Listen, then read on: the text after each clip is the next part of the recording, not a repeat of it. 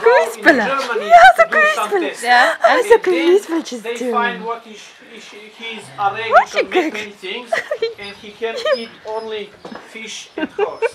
Oh. Wow. they're dogs. Oh, For, for food, schattig, I don't have